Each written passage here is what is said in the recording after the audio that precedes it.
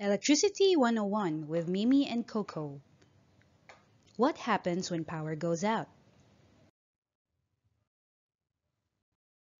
Hey there, my name is Mimi. And my name is Coco. Today we will try to figure out what happens when the power goes out. Coco, brownout? Not so fast. Let's check first our breaker if it's functioning correctly.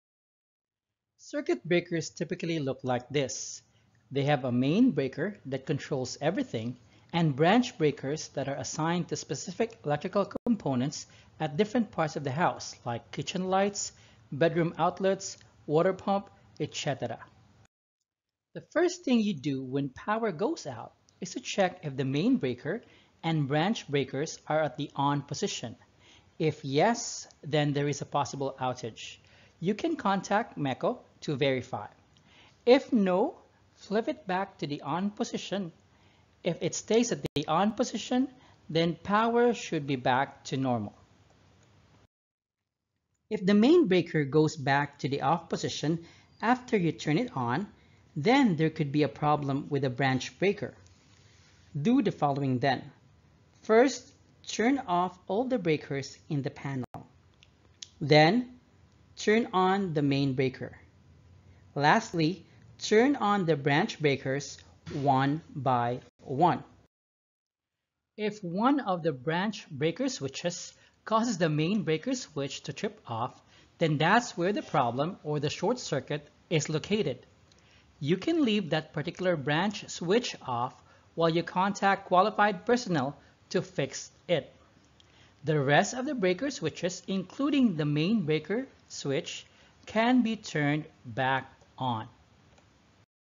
This is the same principle, though a bit more complicated, with MECO's power distribution system. The feeder breakers act as the main breaker, while the reclosers and sectional fuse cutouts act as branch breaker for smaller areas.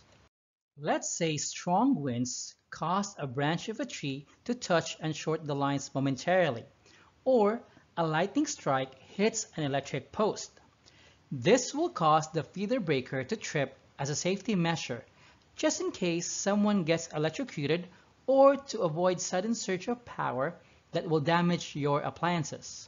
When this happens, we immediately try to turn the feeder breaker back on to restore power hence the occurrence of momentary outages.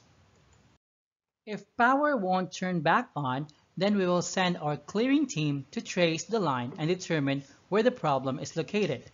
Calling MECO to report a problem, like sparks on the line and explosions, will speed up the restoration process. Once we determine where the problem is located, we will isolate that area so we can power up everyone else while we are still fixing the problem.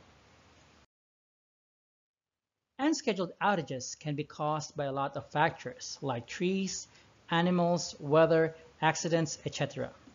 Therefore, it's hard to predict when they will happen. While we can perform mitigating measures to avoid them, we can't really stop them. All we can do is try to fix them as soon as possible.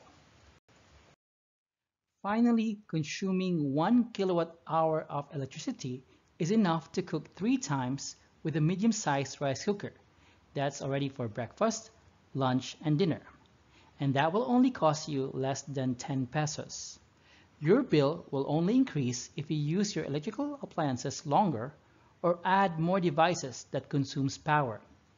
There is no power consumed during brownouts, and when power is restored, your appliances will only consume what it normally needs to function. Ah, so it is not true that your bill will double because of outages.